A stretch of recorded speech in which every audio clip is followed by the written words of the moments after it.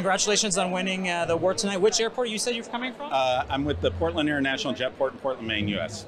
okay, and uh, what, which ASQ did you win? Uh, so we won the best airport in North America for uh, two to five million passengers.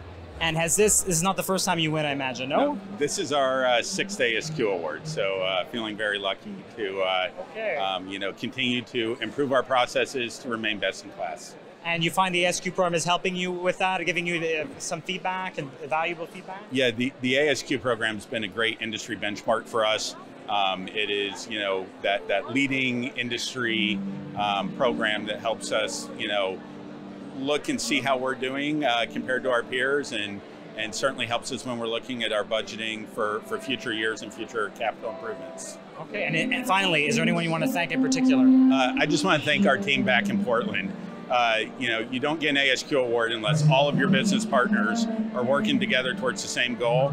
And for six years, our team has been uh, hitting on all cylinders, even through the pandemic. So just want to say a huge thank you to all of our tenants, all of our staff uh, for their ongoing uh, efforts in this endeavor. And it's especially means more than ever after the year that, that was had 2021. So clearly, what you're doing is, is working.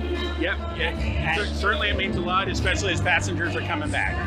Well, congratulations again to Portland, and we hope to see you again here next year. I, I hope to be here. All Thank right, you. take care. Have a nice night.